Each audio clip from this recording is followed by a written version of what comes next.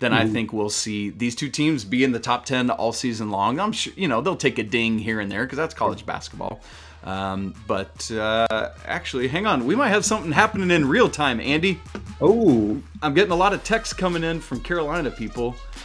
Uh, Pete Nance is a Tar Heel. It happened. In real time. yes. This live, is great. Okay.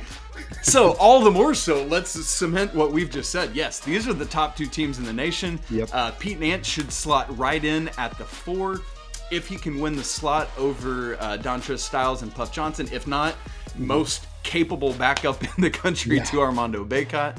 Um, and so, wow, okay. Both these rosters are now all of a sudden complete. Yeah, Andy, we got two national championship contenders on our hands here, brother. Absolutely. It's going to be a really, really fun season. Isaac, I'm going to let you go because you probably got to do some recording to talk a little bit here about this Pete Nance news. Uh, I'm very excited about that. Going to be two of the best programs in the entire country next season. Thank you so much for joining me today.